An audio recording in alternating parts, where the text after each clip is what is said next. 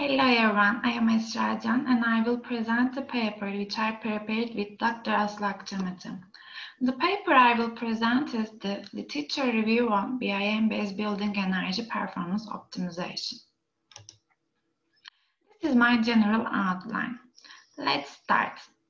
Uh, around the world, 30 to 40% uh, of all and all primary energy usage come from buildings, and also they make a significant contribution to overall carbon dioxide emission in the world. Since buildings have such a significant impact on the environment, there is a huge attempt to increase the energy efficiency of buildings. For this reason, building energy performance analysis are carried out to predict energy usage so that the improvements can be made. However, building energy systems are quite complex because they are affected by many factors such as building geometry, building orientation, HVAC system type and operating characteristics, building construction detail, building usage, weather conditions, uh, building energy performance analysis refers to the various assessments and evaluations, and it includes some contextual analysis like solar and thermal energy, ventilation, daylighting, building massing, site orientation, HVAC systems. Uh, as building energy performance depends on many parameters and includes includes various analyses, its assessment is a very time-consuming and complicated process. To improve this challenging process, some technological advances are used, such as building information modeling. Building information modeling, uh, in other words, BIM, is a digital representation of a physical and functional characteristics of a facility. A BIM is a shared knowledge resource for information about facility, forming a reliable basis for decisions during its life cycle. BIM has been commonly used in the construction industry and serving many different purposes like design coordination, facility management, building energy analysis. BIM makes it possible to work with what-if scenarios uh, to get the best design option uh, by enabling the collaboration of multiple disciplines. And therefore, it has been used for building uh, performance assessment as well. And BIM provides opportunities to overcome the limitation of traditional building energy modeling, such as tedious model preparation, model inconsistency, and uh, cost implementation. Also, it provides more accurate estimation in a shorter time. Uh, BIM is used for estimating the energy performance and also it has the capacity to provide the necessary data for optimizing the energy usage of building and by changing uh, parameters that affect the energy consumption.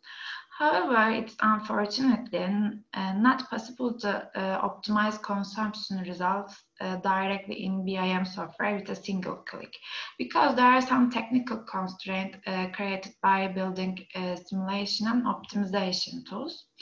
For example, the main limitations are the lack of automatic comparison between different conditions also, um, currently only one-way BIM is possible, uh, which means that it's not possible to return building performance simulation or optimization information uh, back to the original model. So it requires remodeling efforts with uh, well-documented change management. And optimization can be carried out with uh, a few extra operations after the energy analysis results are obtained. And this study aims to review the literature on BIM-based building energy performance optimization um, in order to provide the methods that can be used in the building energy performance optimization. And when the literature is reviewed, uh, it's seen that the majority of the studies conducted energy optimization and by using integrated uh, parametric analysis, analysis tools or uh, optimization algorithms. Uh, I would like to uh, go on with the parametric analysis tools. Uh, parametric modeling uh, is one of the most important characteristics of BIM. It provides generator modeling by using building parameters and rules. Uh, parametric design tools allow designer to discover all possible alternative solutions and make decisions uh, based on the performance of building. And energy performance data obtained through BIM is not enough to provide uh, building optimization directly.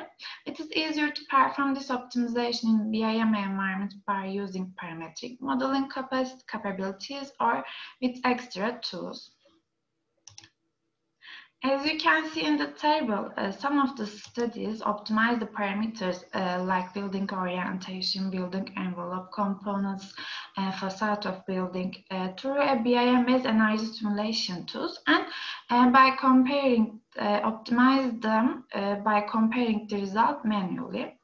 Uh, some of them are develop a methodology like uh, ThermalOpt, uh, which uh, integrates an automated workflow from a, a parametric BIM model uh, to an, an, energy simulation engine and daylighting simulation engine using the industry foundation classes.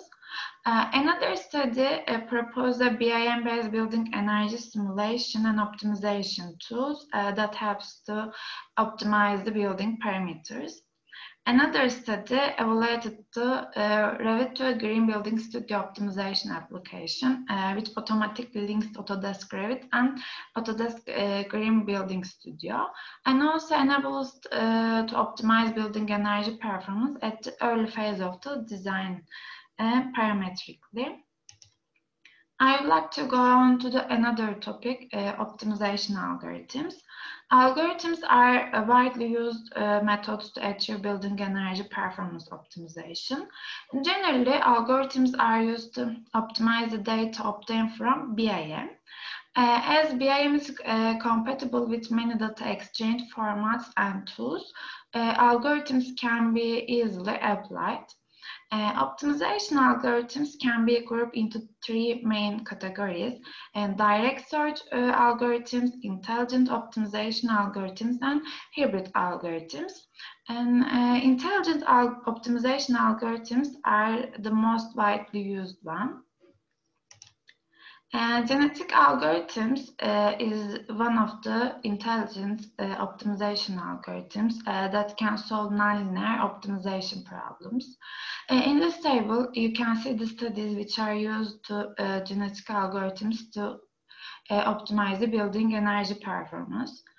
some of the studies are used the genetic algorithms platforms after obtaining the energy performance result from the BIM-based model. And some of them integrated BIM-based building energy performance simulation system and, and daylighting tools, and then use genetic algorithms for optimization. Uh, in the first step of this table, uh, a hybrid algorithm was used. And they integrated two well-known artificial neural network and decision tree algorithms uh, to obtain the best solution for energy optimization functions and enhance the accuracy of the data-driven uh, energy modeling and prediction. In the last study, they compared the uh, three commonly used optimization algorithms, uh, one direct search algorithm and two intelligent algorithms um, through a case study.